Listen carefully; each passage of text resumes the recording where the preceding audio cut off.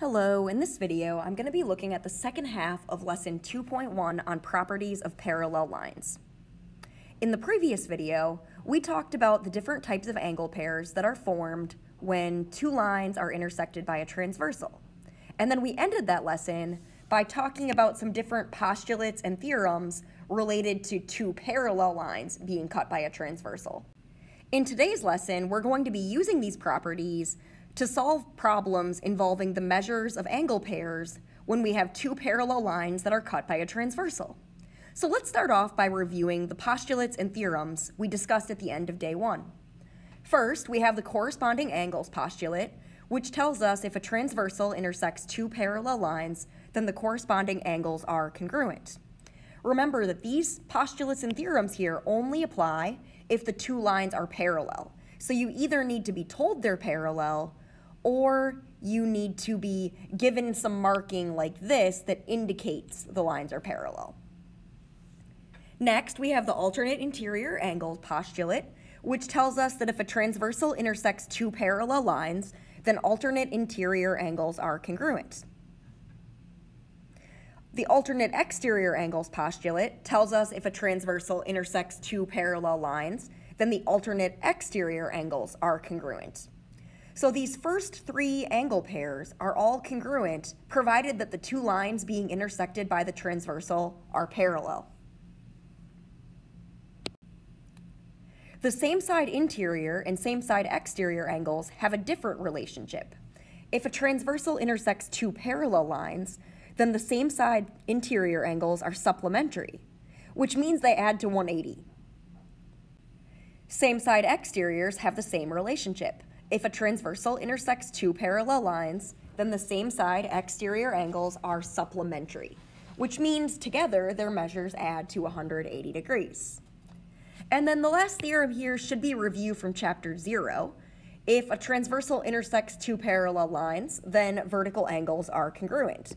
And technically, vertical angles are always congruent, so you really don't even need all three of these lines. When we look at vertical angles, we just need one line and another line that intersect, and that gives us two pairs of vertical angles. So now that we've reviewed these important postulates and theorems, we're ready to solve some problems that involve using these relationships.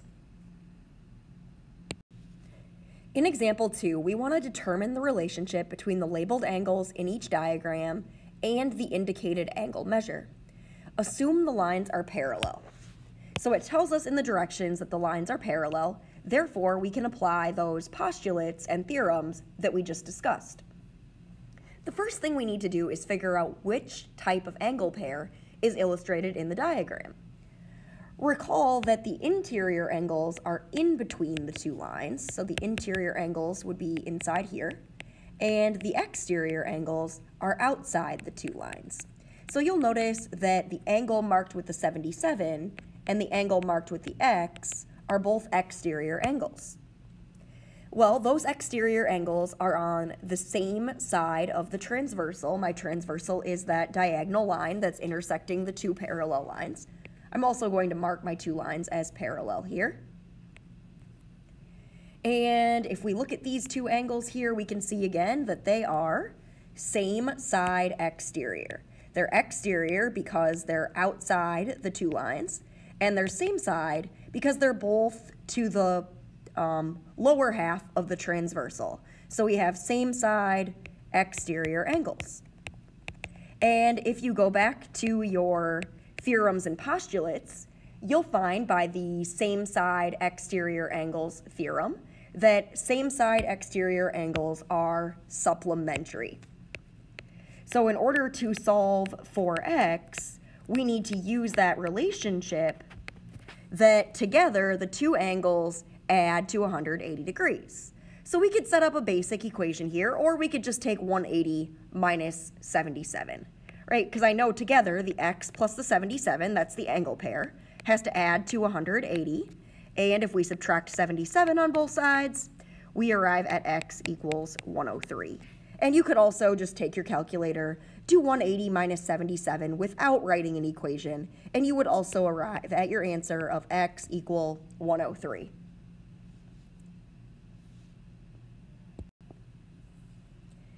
Problem B gives us another pair of labeled angles, and again, we are assuming that the two lines are parallel. Now notice that these two angles are just across from each other. They're on opposite sides of two intersecting lines. I really don't even need the second of the two parallel lines. I'm just looking at these two. And we know that these two angles are a pair of vertical angles. So that's our angle relationship. And we know that vertical angles are congruent. So given they're congruent, that just means they have the exact same measure. So that means x must also be 120 degrees.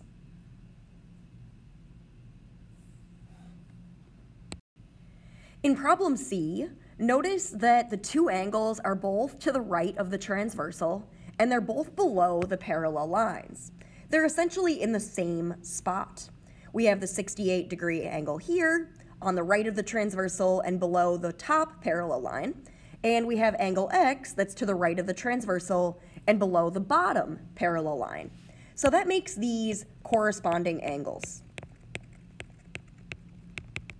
And if you go back to the corresponding angles postulate, we know that if two parallel lines are cut by a transversal, corresponding angles are congruent. So that means, once again, that they have the same measure. So that must mean x is also 68 degrees.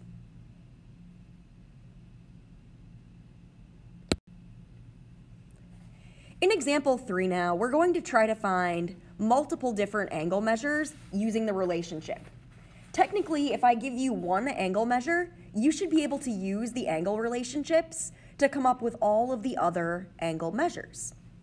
And there's a lot of different ways that you can approach this question. So the way I walk through it here in this video isn't the only way I could arrive at these answers. First, notice that the labeled angle, angle 5, is x. Well, let me just start by finding some angles that are congruent to x. If I look here, I notice that angle 7 is a vertical angle with angle x. So angle 7 must be the same as angle x because it's vertical with angle 5. So I'm going to put an X there in my diagram. Next, I'm going to observe that X and angle 1 are corresponding.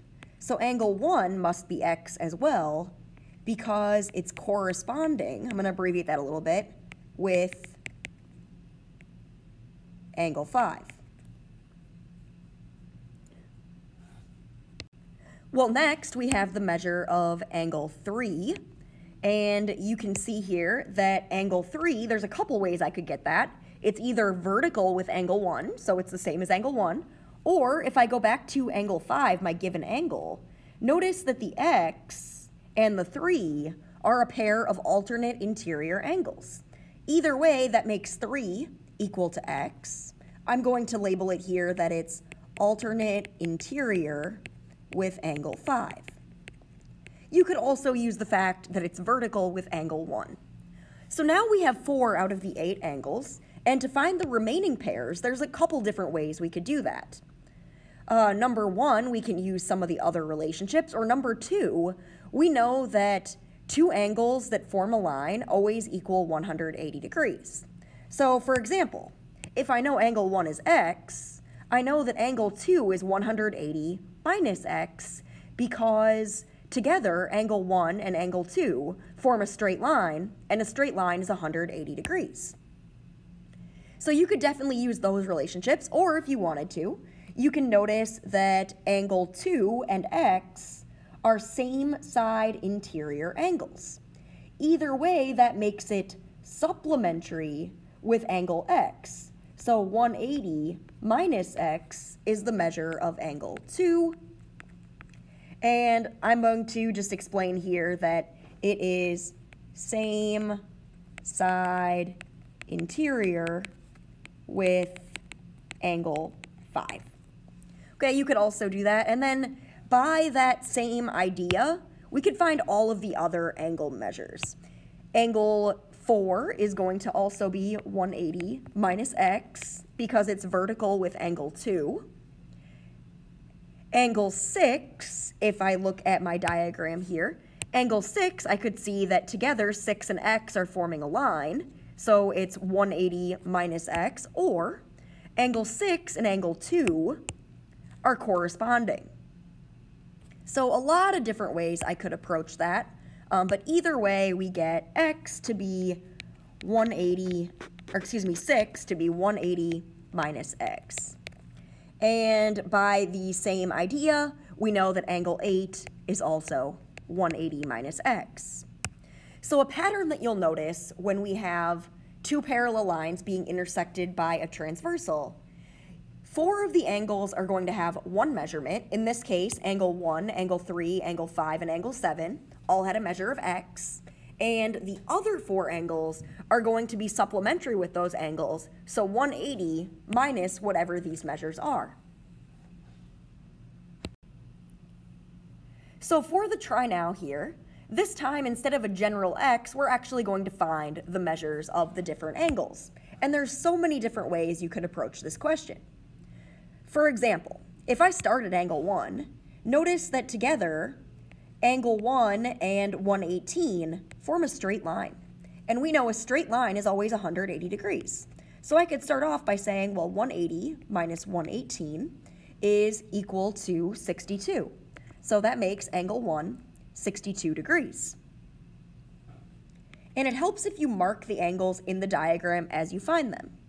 Now, angle 2 is vertical with angle 1. So angle 2 here would be 118 degrees. And now I'm going to skip around a little bit. I know that angle 6 has to be the exact same as angle 1 because it's vertical with angle 1. So angle 6 will also be 62 degrees. So I'm going to again mark that in my diagram, 62 degrees. And then if we move to the second set of intersecting lines, I'm going to start with the fact that angle 7 must be 118. Notice that angle 7 is corresponding with the 118 degree angle that we're given. Corresponding angles are congruent, so angle 7 would be 118.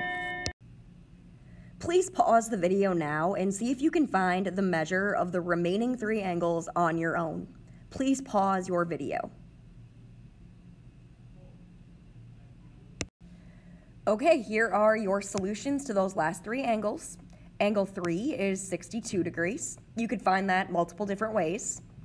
Um, you could use the fact that it is alternate interior with angle 6 that's 62 degrees, or that it forms a linear pair or a straight line with angle 7.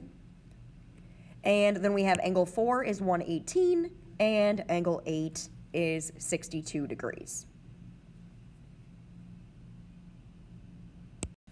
For our last type of example, we are going to state the relationship between the indicated angle pair and then find the value of x. Notice that the two lines are marked as parallel by these red arrows, so we can use all of the relationships that we discussed at the beginning of this lesson video.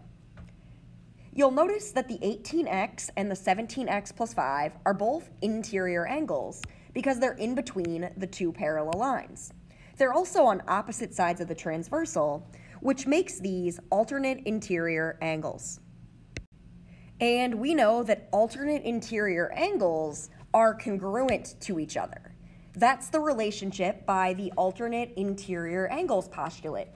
If two parallel lines are cut by a transversal, then alternate interior angles are congruent.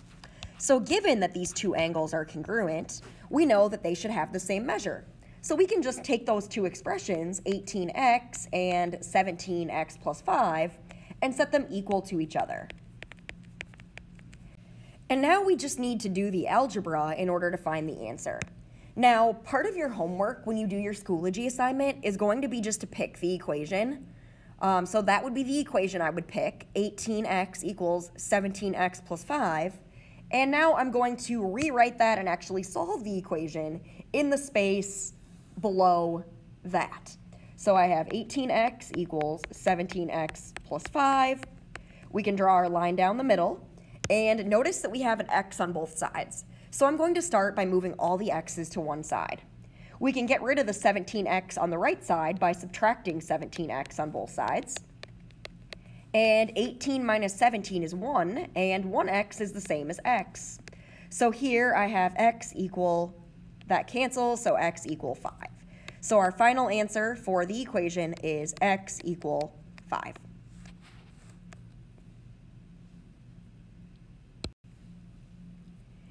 In this next example, notice that the two angles marked are both interior angles, again, but this time they're on the same side of the transversal. So that makes these same side interior angles. Now be careful on this problem. Same side interior angles are not congruent. Same side interior angles are supplementary, which means they have to add to 180 degrees. So for our equation, we're not setting them equal to each other like we did in the previous problem. Now, since the relationship is supplementary, we need to take the expressions for the two angles and add them together and total it up to 180. So I have 12x plus 23x plus 5 equals 180 degrees. And that's our equation. Now, in the space below, let's go ahead and actually solve that equation.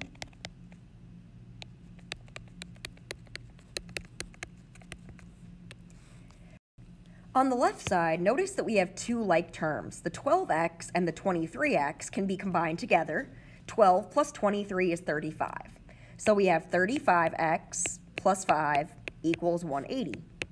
Now let's move that plus 5 to the other side by subtracting 5 on each side. This will cancel over here and leave us with 35x equals 175. To finish up the question, we just need to divide each side by 35 and if we take 175 divided by 35, that is 5. So my answer here would be x equal 5.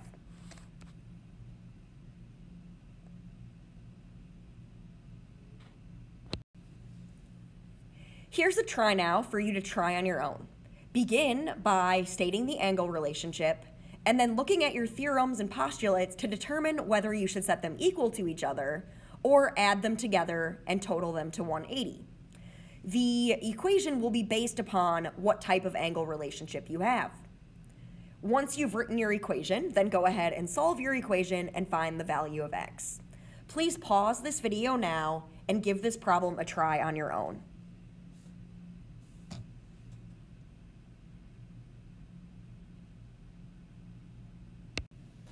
Okay, here is your solution. The angle relationship is corresponding angles, and we know that corresponding angles are congruent. So for the equation, we set 23x minus 5 equal to 21x plus 5, and then we do the algebra. Ironically, the answer here is also x equal 5. This concludes lesson 2.1, day 2. Thanks for watching, and good luck as you practice some problems on your own. Bye.